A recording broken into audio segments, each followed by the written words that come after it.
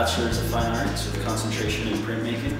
Today I'm going to be showing you a little bit about uh, screen printing, uh, just kind of some basics and uh, the technicalities thereof.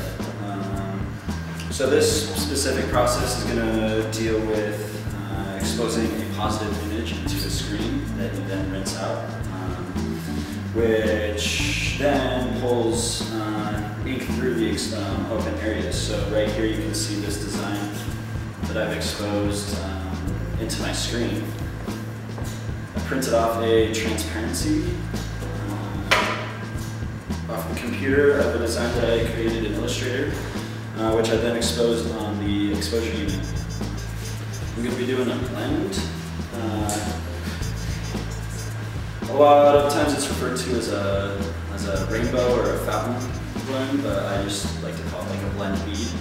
Um, and the bead refers to the ink that I will be working with while I'm pushing and pulling through the screen.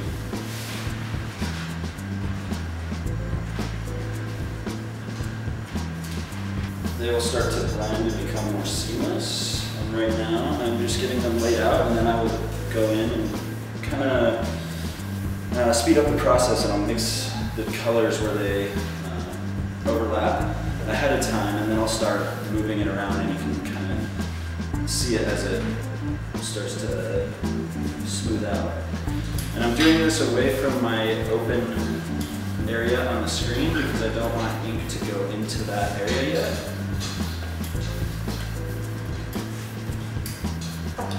Alright, so I'm going to begin by flooding the screen, flooding the first two, filling your open areas of the screen with ink, uh, and then followed by a pull, which, or a push, it pulls ink through the screen and onto the paper it.